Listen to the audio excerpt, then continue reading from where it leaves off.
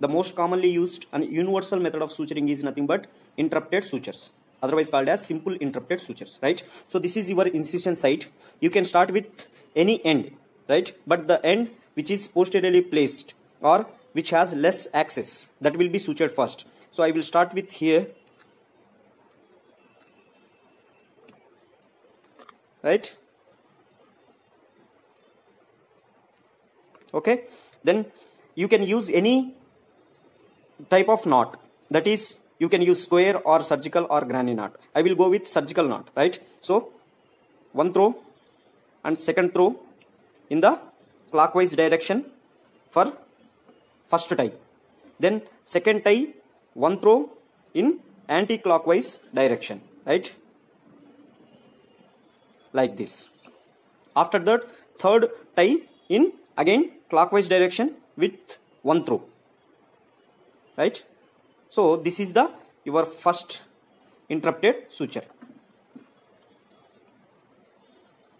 Okay after that this is first interrupted suture. You have to maintain a 2 to 3 mm of gap between this suture to the next interrupted suture. Right? So again here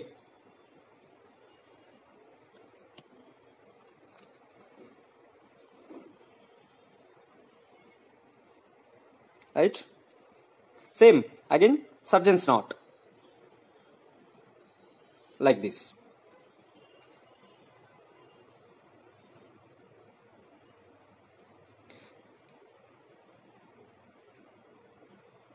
Okay. Then you have to cut. So like this you have to go on suturing until the wound is completed. Right? So when coming to the advantages of this interrupted suturing the most important advantage is the suturing is strong and every suture is independent of next suture.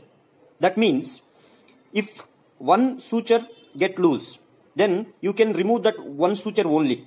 All other sutures are functional right? That is the most important advantage of interrupted suturing. Whereas in continuous suturing if one suture go, uh, get broken or if the one suture is get infected you have to completely remove all the sutures. Right?